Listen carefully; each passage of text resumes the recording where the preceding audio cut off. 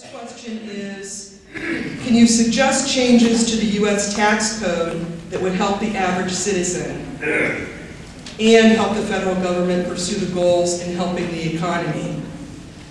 The question again is, can you suggest changes to the U.S. tax code that would help the average citizen and help the federal government pursue its goals in helping the economy? We'll start with Mr. Blevins. Um, I believe that uh, before we make any changes to the U.S. tax code, we first need to make changes to the federal spending habits going on in Washington D.C. Uh, we do need to cut spending um, so as to provide for fiscal strength, uh, which is a part of national security.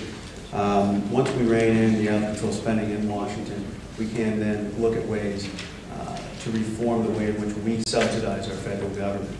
I'd like to see, there are several programs or options available to us. I think any cuts that we, uh, or any changes we make to the system need to be fair uh, to all Americans and not, not just uh, certain segments of uh, society, but again, all Americans should receive uh, tax cuts simply because all Americans who are paying taxes deserve to keep more of the money they make. Some of the changes or ideas that are out there are a national sales tax, which needs to be looked at. Uh, there are also uh, uh, options for uh, equal taxes as well. Thank you. Mr. Boccieri? Thank you, thank you for the question. And uh, right now, uh, we have implemented some tax reforms through the stimulus package and others that target, that are targeted for small businesses and for working families. In fact, the tax rates this year are the lowest they've been since Truman was in office in 1950. Uh, We've gone after certain things in the tax code. Number one, how we're going to stimulate jobs and help our economy is we've closed the tax loopholes that give our big corporations a pat on the back and your tax dollars to ship their jobs overseas. That's the first thing we've done. We've also targeted small businesses with net operating loss carrybacks and reducing those taxes for small businesses. We've increased uh, the child uh, credits that are available for working families.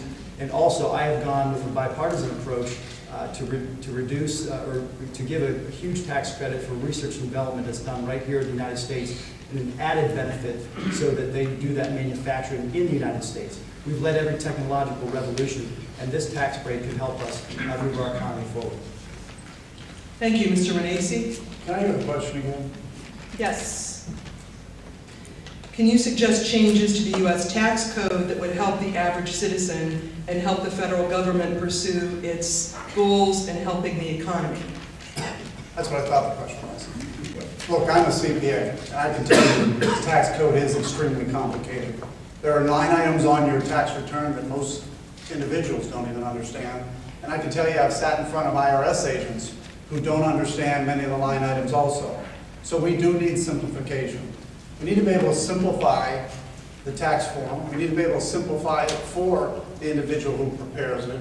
But ultimately, and there, are, there is a number of options that we can look at, um, but ultimately, the tax, the, the simplification should amount in a net tax reduction. Because today, we need to be able to get our economy going. One of the things I'm a believer in is that we need less taxes. We need to be able to reduce- our tax liability on corporations and on individuals so that we can get the economy going back, get corporations to be able to hire people. We do have to simplify.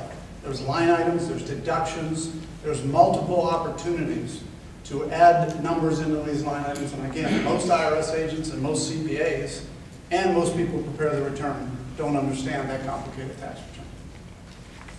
Thank you. Mr. Ross? Uh, Thank you for the opportunity to be here tonight.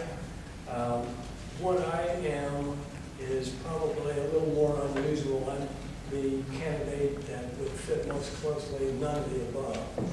I'm interested in taxes in regards to the impact it would have on the constituents in this district. I would be interested in integrating that into a program that I would like to see integrated into our current system of a comprehensive development plan. I would like to get together not only on tax issues, but economic development, environmental, any number of problems we're currently facing, put that before a committee of experts have them decide how can we integrate current federal tax situation, state and local, and have them come up with that as part of our general comprehensive plan. I think that's going to do us generally more good than just some um, generic tax program that's not going to get passed in Congress.